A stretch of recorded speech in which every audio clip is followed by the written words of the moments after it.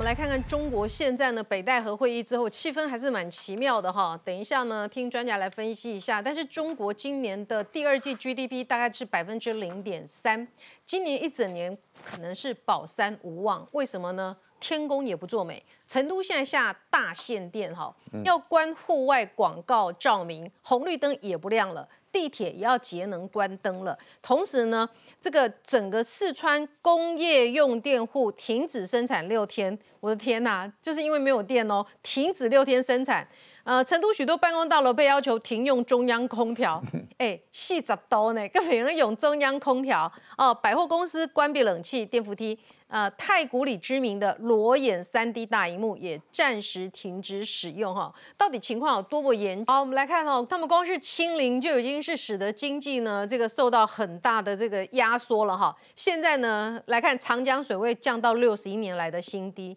重庆湖北高温达到或超过摄氏四十四度。四十四度哎，然后不能开冷气，好，这个热浪导致长江出现了汛期反枯的现象，所以说现在是汛期，应该是要水量很丰沛的，没有反枯了哈。那么这个，所以长江现在是断流，有有出现断流的状况，主流洞庭湖、鄱阳湖水呢？比平常往年同期大概低六公尺，三峡水库是很大的一个水力发电的一个中心哈，现在只剩下一百三十五公尺，比起正常的蓄水量低了有四十公尺之多，所以呢，红海集富士康成都厂区停产到二十号，国有发电设备制造商东方电气从十三号开始停工了。电解铝生产商中孚实业有两间位在四川子公司的部分产能，十四号开始停产一周。不只是四川哦，包括浙江、江苏、安徽、重庆出现电力供应不足。重庆呢，十七号开始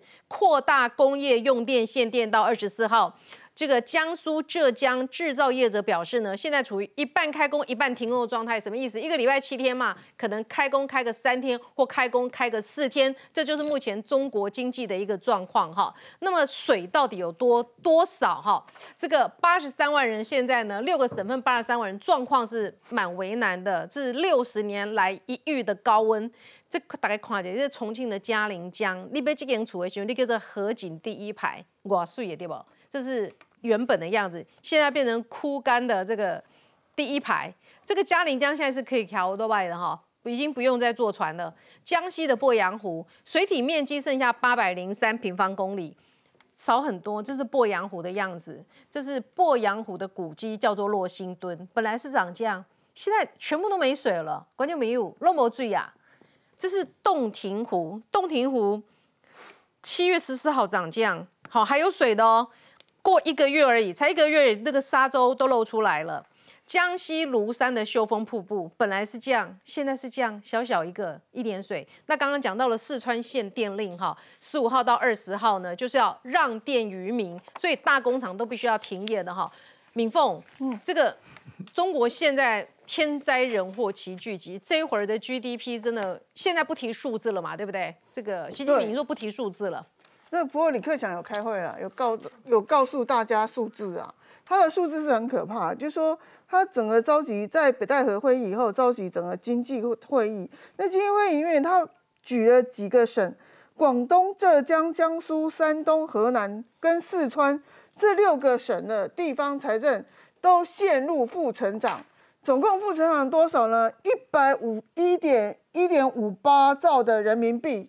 你看这几个省都是算是大省哦，嗯，结果它整个地方的财政都成了都成为负数了，欠了一点五八兆的人民币。那你说你这这这个，你说这经济怎么活？然后这个最根据这个最新的这个统计啊，就说有一个有有权威的一个呃经济学家，他有在中国有评估，在二零一九年。是六省一市在养全国的中国人民，嗯，就是包括这个呃上海、江苏、浙江、山东、天津、辽宁这些省，它的正它的收入只有正只有这些省是正成长，大概有这个六百亿到一兆左右，那其他都是负数。所以你要知道，我们在八月四号在左右在军演的时候，我有一个大陆的朋友就跟我讲说，大陆的。的朋友呢，对于这个所谓的军演呢，是两样情。嗯，在广东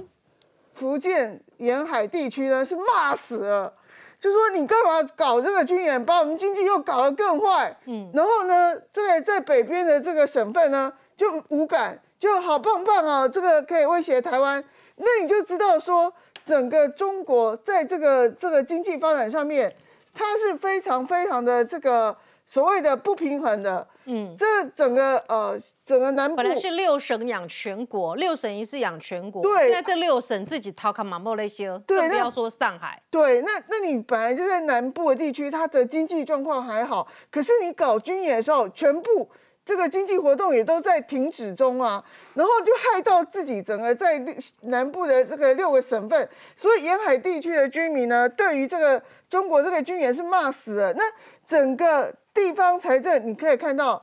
这个我们上次那个什么呃，很多村镇的银行，嗯，这个没有钱就欠人民钱，然后把它冻结，这些你就你这个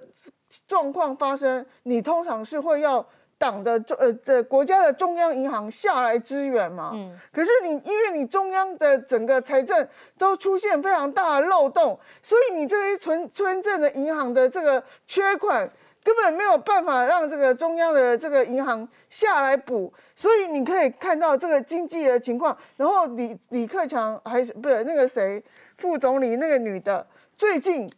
公开道歉，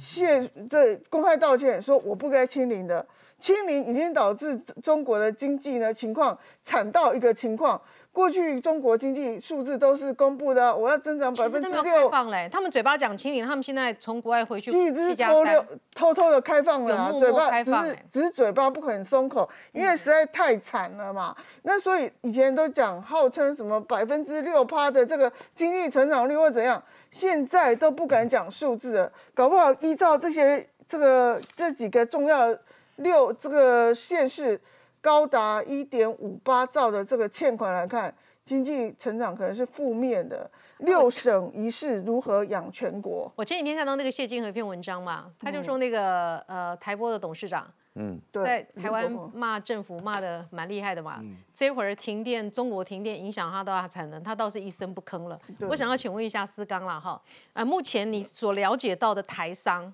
还在中国经营的，现在状况怎么样？基本上，它的第一个因为清零政策确实让大家动弹不得，嗯啊，包含一些人流的往来，然后甚至一些国外的业务等等啊，其实坦白讲受到很大部分的限制啊。所以我觉得中国大陆以目前来说，因为它为了面子工程，它在二十大之前是不会放弃所谓的清零政策，但有可能二十大之后去做一些调整，因为很多的在当地的外商也要撤，那些撤掉其实对他来说是一个很严重的事情。那第二个，我觉得现在他们境内哦最大的问题是很多房地产的问题，